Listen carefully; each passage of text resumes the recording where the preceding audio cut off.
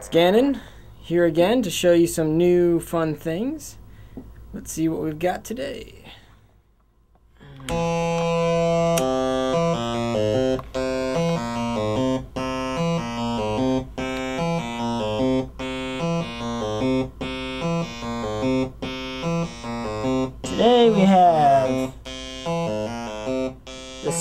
Sequencer.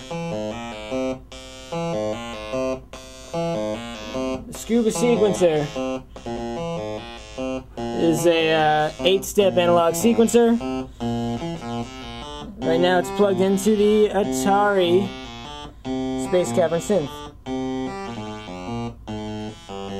So because it's plugged into the Atari Space Cavern synth, we don't really get uh, all the fun things that it can do.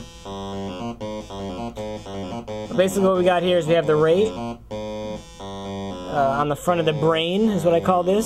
I call it the scuba sequencer because it kind of looks like a little diving bell. You get what I'm saying. But uh, yeah, so this thing uh, controls the rate over here.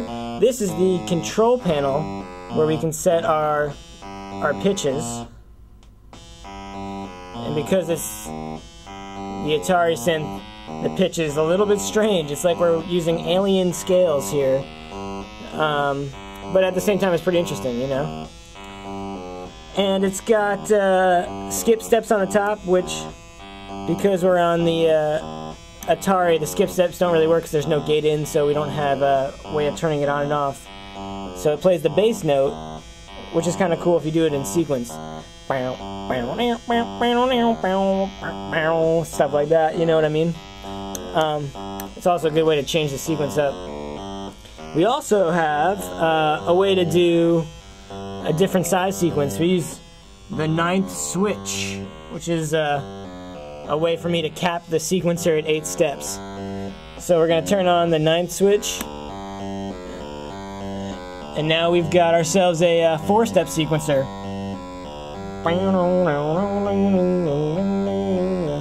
And then once we have a cool loop, you know, we can start doing other things. This has two control voltages out.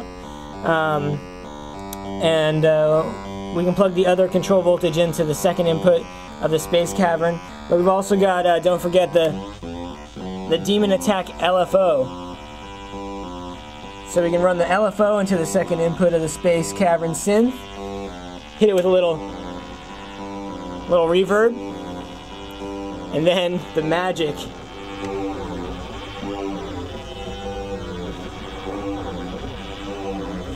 this guy. Alright, I'm gonna turn off the LFO, it's a little crazy.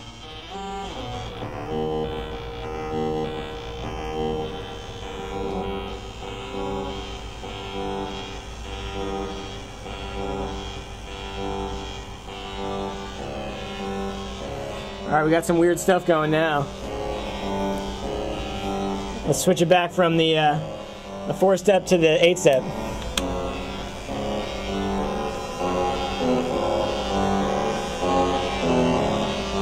Oh yeah.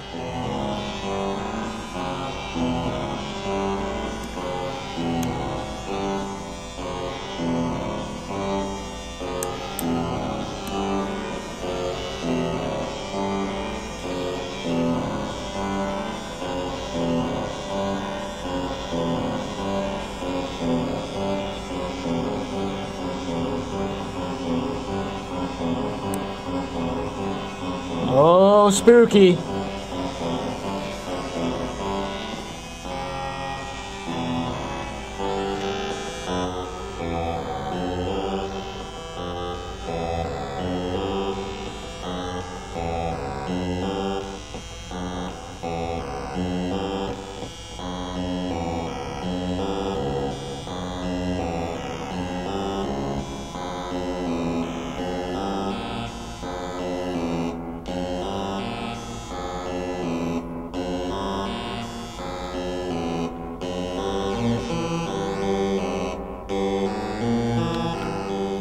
Another cool thing you can do is you can stick uh, the other second control voltage out from the sequencer into the Atari synth. And you start to get some really weird sounds.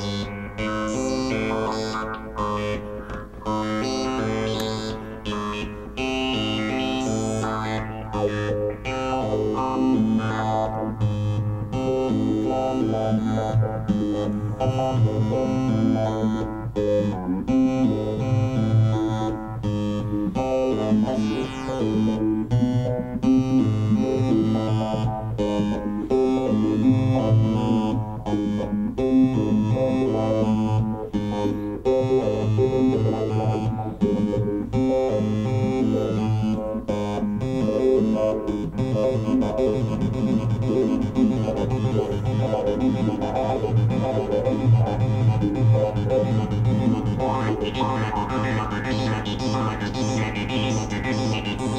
there you go.